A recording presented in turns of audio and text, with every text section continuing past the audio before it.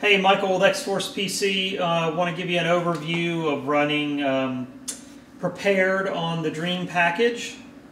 Um, Prepar3D is by Lockheed Martin. Essentially, at least in my opinion, that what they've done is they've taken Microsoft Flight Sim and they sort of souped it up and added some better, you know, graphics and so forth. But essentially, in my opinion, it's you know Microsoft Flight Sim under the covers with a uh, a lot of the you know graphical stuff updated, more um, of the special features of the, that the new graphics cards can use, and also more planes. There are more planes to choose from in uh, Prepar3D. So in general, it's probably an overall improvement of Microsoft Flight Sim and kind of trumps it. So just wanted to show, this is kind of a demo of it on our titanium system, which is also the same system that powers our Dream package, which I'm in front of right now.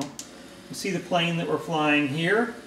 It's a Baron, which is probably one of my favorite planes to fly. It looks nice, of course. You see our scenery is looking very nice. I'm a little all over the place with this uh, hat switch. Let's get back in the airplane. And then, of course, you can uh, zoom in and out is whatever you think looks best. You know, that's probably too zoomed out, and, you know, that's obviously too zoomed in. So somewhere in between is kind of the sweet spot. And you can use your hat switch and you can look down at your instruments or you can look out the sides you know, you do obviously get a pretty wide forward view, but if you truly want to see all the way to the side, you can actually see a little bit kind of over your shoulder behind you if you use the hat switch and look all around. So let's look at another plane. Oh, by the way, we're over New York, so this is kind of a worst case scenario when it comes to um, scenery. Um, it's a very difficult area to draw. So let's select another plane. That was a Baron. We'll do the King Air. So here we are inside the King Air. Look all around a little bit. Get an outside view of the King Air.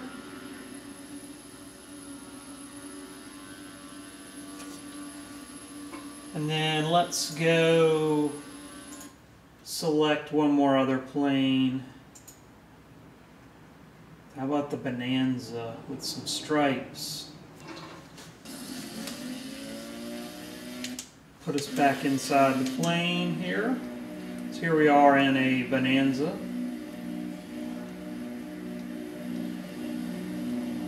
Looking out at all of our nice scenery. So that's the Bonanza. See if there's anything else we want to try.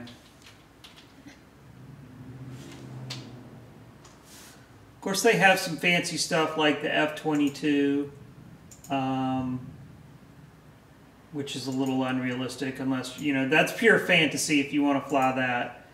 Uh, the old, good old Piper Cub, we got some helicopters, the T6 trainers, um, some more helicopters. Let's do the Mooney Acclaim with the G1000. And of course, there's just like with X-Plane and Microsoft Flight Sim, there are add-on planes that you can buy. Um, you know, if, if the plane you want isn't included. And there's the outside of the plane. Notice it renders it individually, piece by piece. That's a tower view. Obviously, we're kind of far from the tower. And now we're back inside. And, you know, if you want to zoom right in on that panel, you can on the G1000 and you know you can zoom back out and then uh, that's probably too far zoomed out and then you know you can look all around just like with the other planes using the hat switch. Probably need to zoom in a little bit. So there you go. I mean the performance is really nice. Um, I pretty much turned every slider up and it's it's doing great. So um, if you want to use Prepar3D you can. Uh, as you know we're uh, we prefer X-Plane here but in certain scenarios, you may find that um, X-Plane can't do one of the things you want it to do, and you have Prepar3D as an option.